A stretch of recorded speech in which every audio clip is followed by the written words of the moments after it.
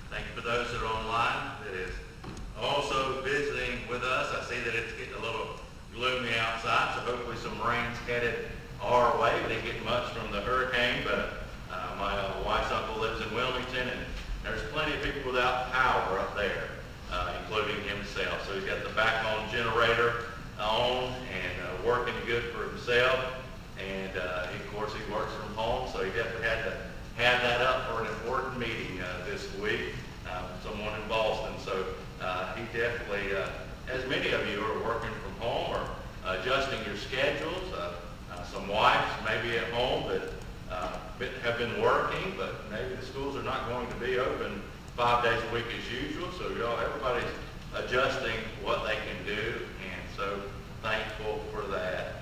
Well, I'm thankful also for the scripture that tells us that uh, don't worry about tomorrow, for today has enough trouble of its own.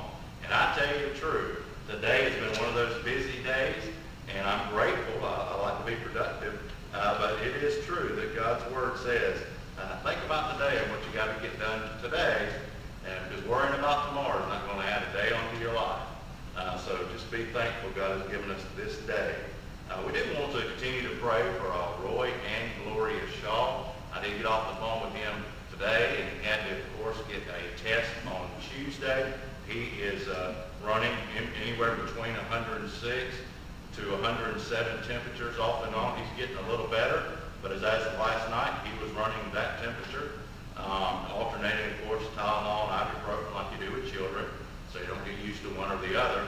Uh, now Gloria, uh, and we need to definitely be in prayer uh, for both of them. Uh, Gloria, I could definitely telling uh, uh, Roy's heart that she, she, he's very concerned because now she's running 106 temperature. Uh, this uh, it's, it's very sad. Uh, uh, he's waiting on a test to get back to say he has COVID, but he knows he has COVID, and uh, and he would say the same thing for his wife so be in prayer for them. I did have some uh, good news from Jennifer Watkins. She was cleared by DHEC. Uh, she was uh, cleared from DHEC and she was uh, good to go. And uh, she would be healed for a certain amount of days, they said. And, and thankfully, Jennifer is going to uh, donate some plasma uh, to help people uh, get through this also. I mean, uh, if you get through it, you built up some antibodies, it'd be good to uh, donate some plasma because then you would help other people. I know two people, a couple that I read about in the news, uh, that helped donate plasma, helped 65 to 67 people with COVID. Uh, so it definitely uh, pays to help uh, one another. So be in prayer for Roy and Gloria uh, Shaw. And of course, this is not a mandate, just as the president has it mandated across the whole country to wear a mask. But I, I would, as your pastor, just encourage you to do so. And, and my rule of thumb is this: if you don't like wearing the mask, stay at home. Uh, you know, so a lot of companies, a lot of businesses, uh, they're requiring you to do that. Uh, Aiken County, New Ellenton, going to businesses, uh, they're requiring you to do that. Uh, you know, at the end of the day, you could have it, and you're giving it to other people. It's not harming you much, but it will harm other people. And to me, I know there's a lot of politics involved with uh, numbers and counts and so forth. Uh, but if you talk to Roy Shaw and Gloria today, they'll tell you it's real. It really is real. It's not, it's not a hoax. Uh, so I, I just uh, encourage you as your pastor uh, to, when you go out, maybe when you come to church, we have masks available uh, to wear them. You know, I know there's a discussion that says, well, you know, if we can stay apart further enough that, you know, maybe I won't get it. Do you know the wind blows? Uh, airborne stuff happens a lot.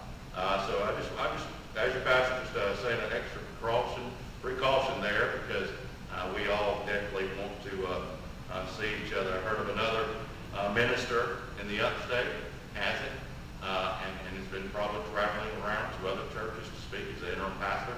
So I'm just saying, uh, we don't understand what we have until maybe we get the symptoms, but you could have it before the symptoms arrive and you're just transmitting it to everyone.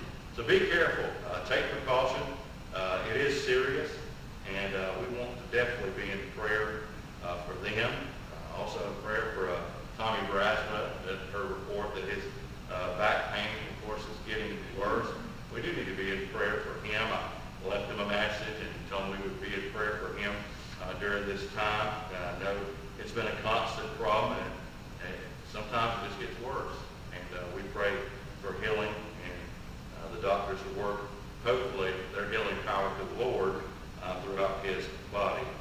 Um, I haven't heard back from the uh, test that Bobby has. Has anybody else heard back from that? I know we're praying for Ann Poston's uh, uh, husband. Uh, we're praying for him for a healing. Anyone else have any additions to the prayer sheet tonight? family of Clara Briggs passed away Okay. Family of Clara Griggs. Briggs. Okay. Okay. Praying for comfort to the family there. So we do see Chip here on the list also that we will continue to pray for him. Undergoing probably multiple things at this time. Anyone else?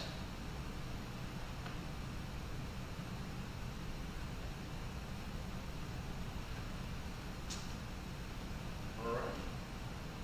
Well, let's go to the Lord in prayer tonight, okay? Heavenly Father, I thank you, God, that we can come to you, come to you because, God, you have all the answers. Lord, we can assume we know what to do, but without your help, without the victory that comes from you, without the healing, without the wisdom, God, we are nothing. And Lord, we come to you just humbly seeking your face because, God,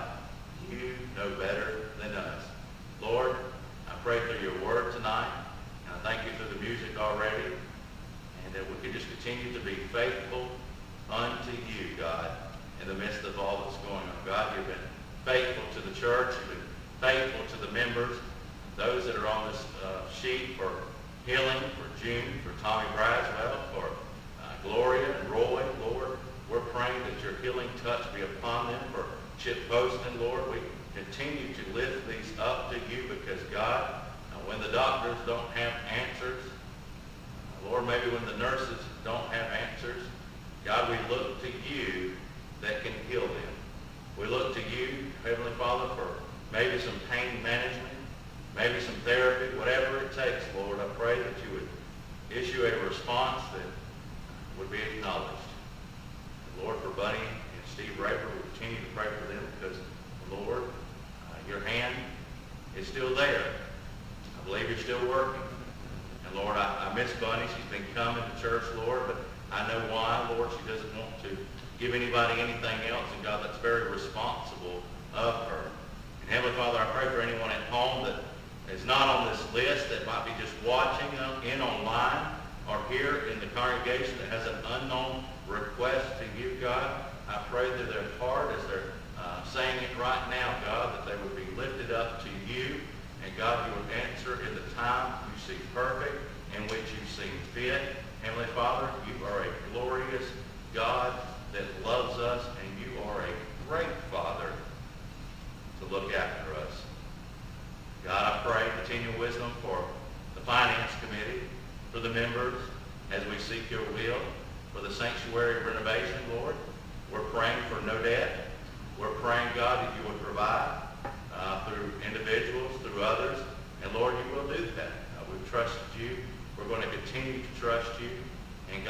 to do things your way. Heavenly Father, as the book of James says, if anyone lacks wisdom, he should ask and you will give it freely.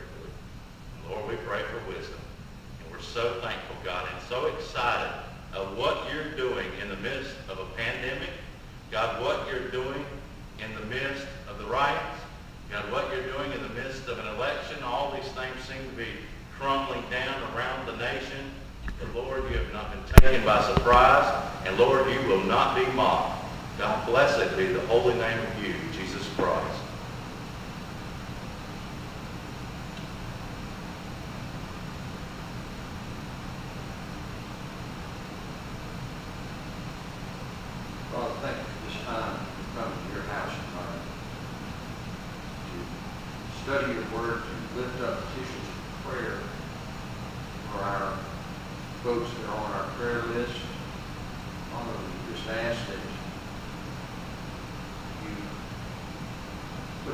protection around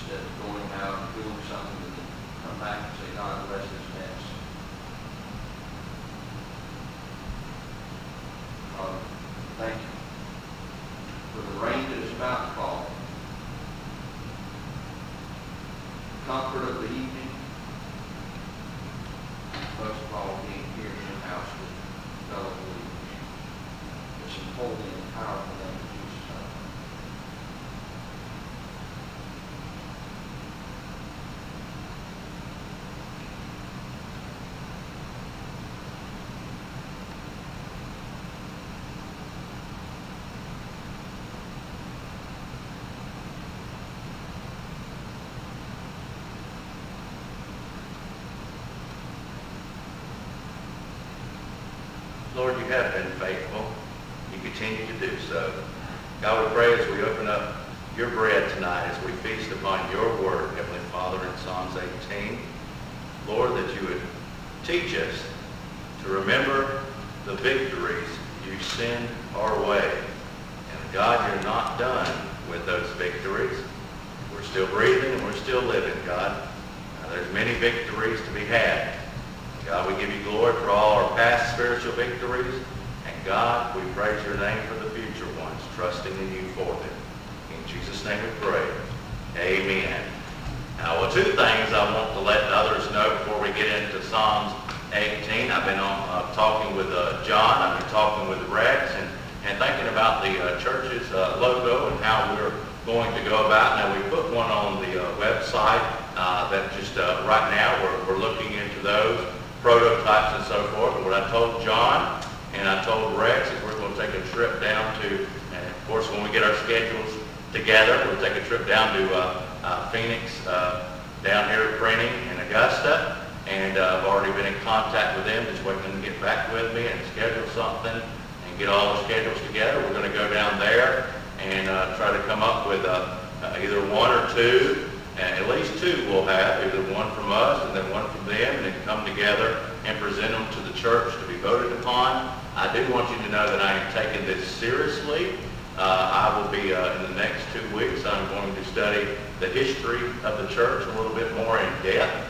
I'm going to see the values of the church when it first started, all the way up to where we're at now. And I want those values to be uh, known.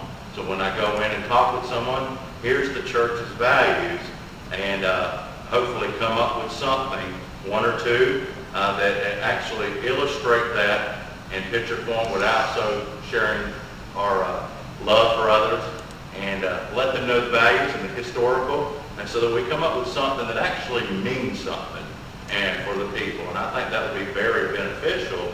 Uh, the rich heritage that this church was founded upon is very important through that beginning state of the first brick going down, now that was the foundation that led this church for many souls to be saved, for missionaries to be funded, uh, for preachers like myself, even before I came here to be funded at seminary through the cooperative program.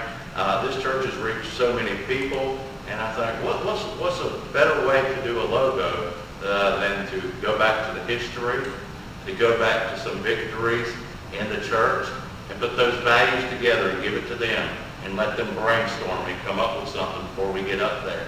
So I think that'd be very valuable. Of course, we would uh, bring that to your attention at a later business meeting date. Uh, but we are working towards that. We want everything to mean something, okay, at the end of the day. Not that John's logo doesn't mean anything, doesn't mean anything. That's not what I'm saying. I'm just saying at the end of the day, we'll let the church uh, have a voice in this. And I think that's the best way to do it and, uh, and, and, for the uh, purpose statement of helping others know Christ and live for Christ, I do think that we could uh, shorten it uh, to the same value, uh, helping others know and live for Christ. If I did that in academic papers, it would sound a little too wordy.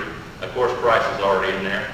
It's assumed that we're helping others love and know, live for Christ. So uh, we could uh, definitely talk about that too in further detail, but I, I think that that is a great statement, and uh, we'll definitely keep that as is. Um, so if you got your Bibles, uh, look in Psalms 18.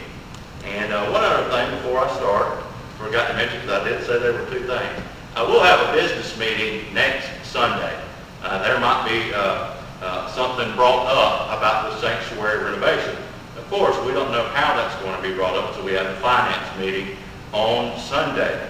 But what I'm saying for those that are at home uh, that want to vote, I'm trying to give you an early uh, way to just realize to come. You can sit in the back, uh, wear a mask, you can vote. Uh, we know that you give to the Sanctuary Renovation Fund. Uh, we know you give to the General Fund. Uh, so we want to invite all that are members, active members, to come in and have a voice and vote. Uh, so I definitely want to uh, clarify that. There's nothing being hid from you. Uh, we do not videotape the uh, business meetings, uh, but we definitely invite you to come. You're definitely welcome. And if you need some place carved out for you, a little special, we'll make it work, okay? Just let us know at the church office. Psalms 18. Now David here, of course, we're going to just go through verses 1 through 14 tonight. And it's a rather lengthy, lengthy uh, Psalms. And uh, just instead of just skipping around, it'd be rather good to just go through it. Uh, this is one of those uh, royalty psalms that David is uh, acknowledging God. And a good thing that David is going to do here in the text, after he gets through verse 3, he's going to go through 4 through 19, and he's going to share what? He's going to share his troubles along the road of following God. For anyone at home that does not think there is adversity in the Christian life, it would be false. Uh, you know, when you became a Christian, you might have thought when you first became a Christian uh, that uh, things are just not going to happen to you. Bad circumstances are not going. Your friends will still accept you. Well, you, you found out really quick uh, that is not true. Uh, but what I do tell you as a Christian, it is a better life and a road that should be traveled in the Christian life. Now, a road less traveled would be one that is uh, a Christian out of fellowship with God, going down a long road of sin. Let me tell you, there is no joy and no satisfaction in that. Uh, that would be like me coming from 85 South and taking a left on 20 East and going all the way towards California. It would take a long time. It would be a hard journey. But I'm going to tell you, when you contemplate sin and live for sin and not reckon yourself dead on the cross as Jesus pronounced the old man on the cross is dead. And the new man, you have a new life. And David here is explaining God in his new life, in his new ways, working out things to deliver him over and over again. He is going to praise God for the victories. If you've had any spiritual victories in your life, it's because God was behind them all. If you had anything that seemed like a spiritual victory, but was not from God, then it wasn't really a spiritual victory. And in fact, when you define spiritual victories, you have to define it as God's hand completing the process of sanctification. How does God do that? How does God set us apart? Well, he brings tragedy or allows tragedy into our life. He allows circumstances that might not go our way, but they're according to God's plan. You see, if you still react the same way to circumstances in anger than when you first became a Christian and you're still doing that 40 years down the road, God will continue to put you in circumstances until you deal with it. God wants to bring you into the conformity and to know Christ. The only way to do that a lot of times is to do it on a road that is bumpy, that is rocky, and has a lot of potholes in it. You know why? Because your dependence should not be upon your flesh, but should be upon God's Spirit. And if your flesh is dependent, if you're dependent upon your flesh, at the end of the day, what's going to happen to you? You are going to be used to what? Failure. Your flesh can only exist in its strength for a short time. But the Spirit of God continues to sustain you, to change you. And David here is going to start off no other way. The way I like to start off in prayers, now there's been some prayers where I got to the meat and the nitty gritty. I just avoided everything, got to the point. Now, right here, in general, my prayers, I love you, Lord, my strength. He's thankful for the Lord. The Lord is my rock and my fortress and my deliverer. Boy, that's a good way to start, is praising him. He is his rock. He is his foundation. My God, my rock, in whom I take refuge. My shield and the horn of my salvation. Horn here is signifying his safety. God is his safety net. God is with him. Uh, he doesn't go out on a cord uh, lifted high in the air without God's safety net below. Yes, we can uh, try to do God's will and try to walk in a certain way, And there's times that you don't have it all written down. You've read through God's Word. You want to know the best thing to do next. And sometimes it's just stepping out faith and seeing if God is in the situation. There's many a times that God will shut a door because it was never meant to be open. Uh, there's many times that uh, doors will be open or seem to be open, but that could not also that could not be God at all anyway. There's many a times that God has us come up to a door uh, that seems to be it has a crack. It's not shut all the way, but He wants you to trust Him in faith to go the race, to go the path. And a lot of times in our Christian life, and I can speak for myself, it is a time sometimes for us to test the, the fight or flight mechanism. That means that when you come up into something that's testy, there's something that's hard, we want to, as time, we want to travel the path of least resistance. We want to travel a path that doesn't have any problems, that doesn't have any situations that we have to deal with.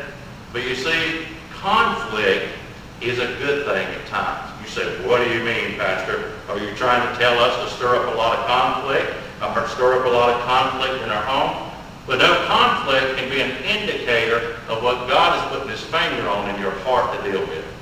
There's something in there that you need to give to the Lord. Do we see here? David, he says, he is my shield and the horn of my salvation, my stronghold. I call upon the Lord who is worthy to be praised, and I am saved from my enemies. You see, God is acknowledged here by David as one that, what? Helps him escape, helps him get victories over his enemies. Uh, did he all, did he get victory over Saul? No, but God continued to provide a way out for him to escape. Many times David could have took Saul out of the picture. He could have took him out plenty of times, killed him. But did he? No, he did not. He trusted in the Lord. He was the anointed of God, and David was waiting on his turn. Listen, David was anointed. He was waiting to be king, but he wasn't going to take it by murdering somebody. You see, David was going to wait on the Lord and renew his strength. And how do you do that? You fly like eagles. You just soar and you trust in the Lord. So David here has acknowledged that God has delivered him many a time from his enemies, from escaping and also from just pure victories of bloodshed. Uh, God has still been on top. David's going to transition here from verses 4 through 19 because he's going to talk about walking, as you would assume, through the valley of the shadow of death. Uh, he is going to talk about that because that is an indicator also that you're a Christian. You're going to go through hard times. You can't avoid them all. I know right now we're trying to avoid the virus. And boy, it seems, you know, we can stay at home. Uh, we can wear masks. We can wear gloves. And I encourage you to do those things. Uh, but at the end of the day, if you're supposed to get it, if you're going to get it, it's going to happen. And I cannot understand how it happens to some, where some gets the virus and some still lives in the household, doesn't get the virus. Some, both of them do, and, and children are dying, six-year-olds, 11-year-olds. Some have immunity that's really good. Uh, but at the end of the day, there's going to be hardships in the Christian life.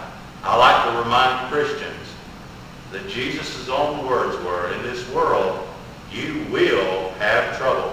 Jesus promised, on this world you will have trouble, but Jesus also promised in heaven, there'll be no more trouble. There'll be no more trouble up there. So we see here David says, the cords of death encompassed me, and the torrents of ungodliness terrified me. The cords of Sheol surrounded me. The snares of death confronted me.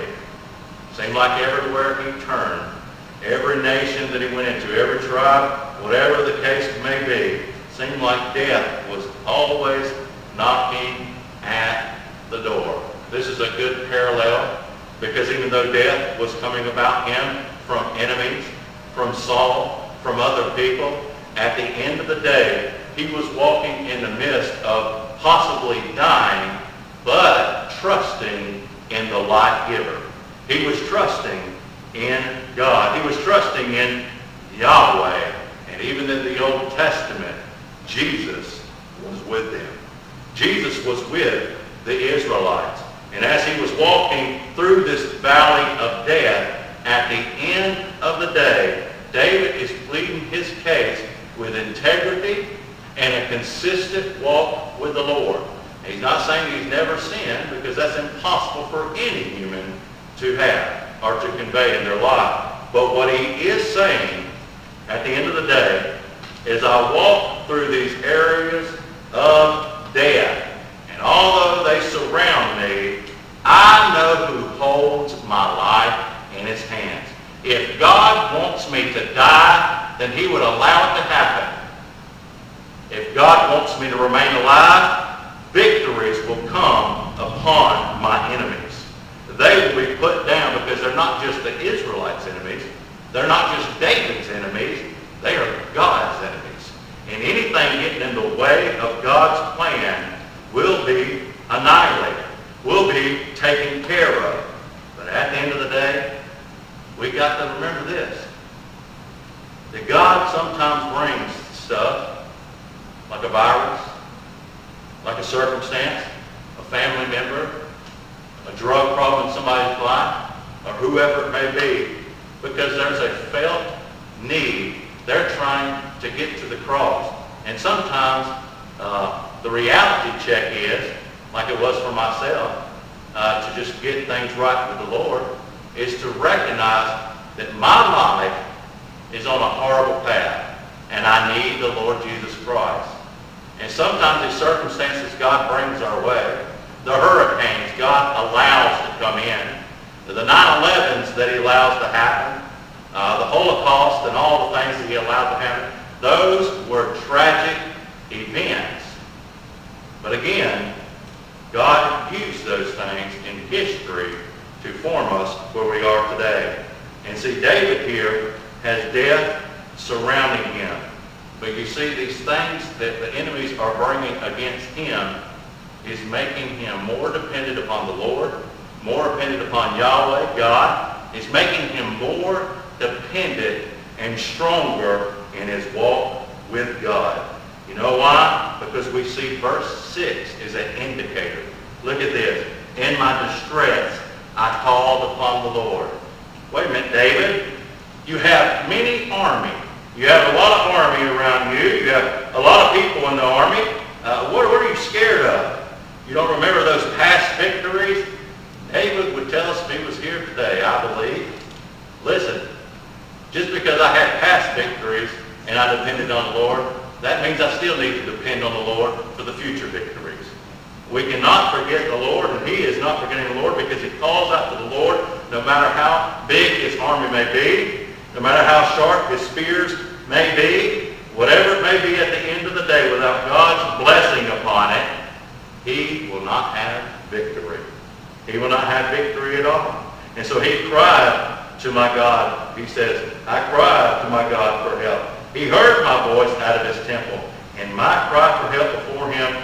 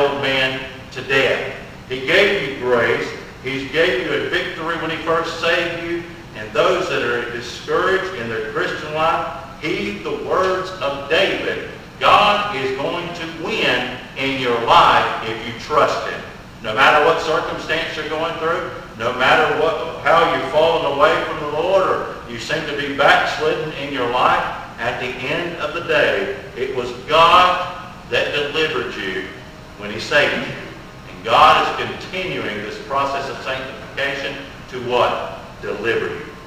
And he is doing that still today. God is with, with us. And he says here in verse 17, he delivered me from my strong enemy and from those who hated me, for they were too mighty for me. They confronted me in the day of my calamity, but the Lord was my stay.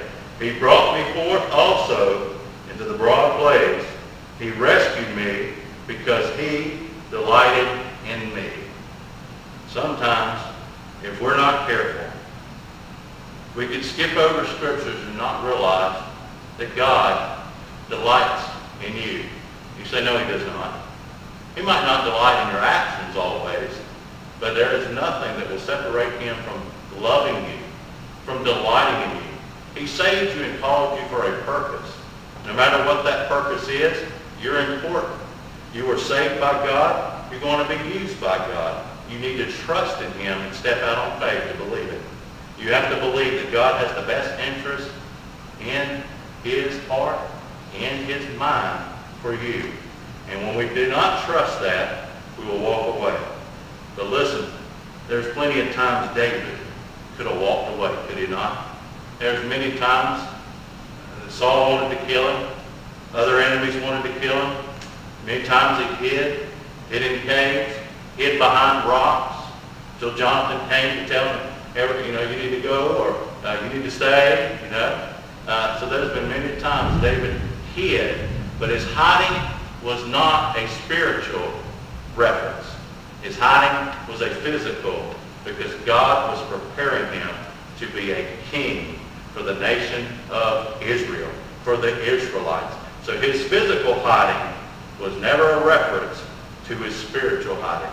He continued to trust the Lord no matter what the circumstance brought. And if you read through Psalms 18 at the beginning all the way to 19, you're going to see right now that he had a rocky, bumpy road that had potholes all in it, speed bumps every 10 seconds. I mean, it was, it was bad at times.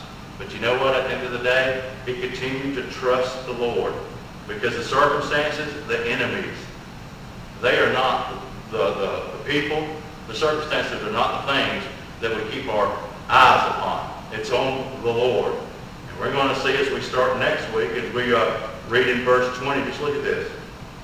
Even though all that happened around him, there was a lot of victories. And in verse 20 it says, The Lord has rewarded me according to my righteousness, according to the cleanness of my hands.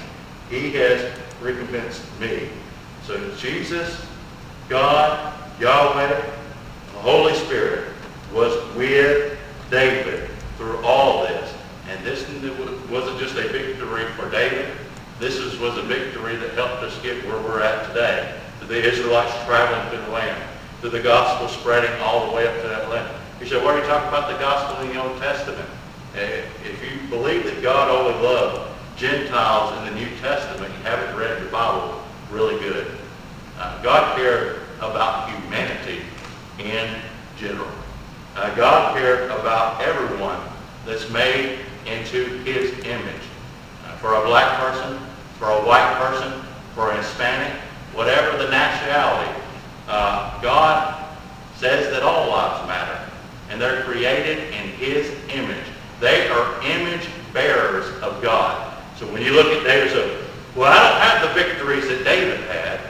I don't have all these victories over these enemies or, or nations or tribes or people that he defeated with the Lord's help.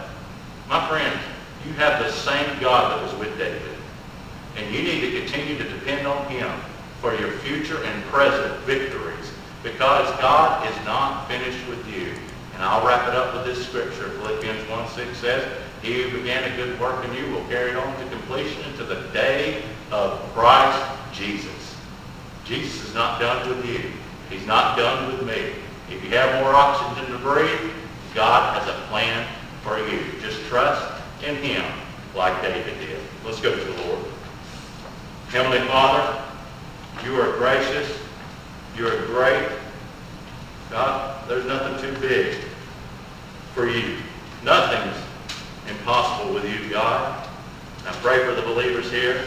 I pray for Foreman Memorial Baptist Church. I pray for those that are online.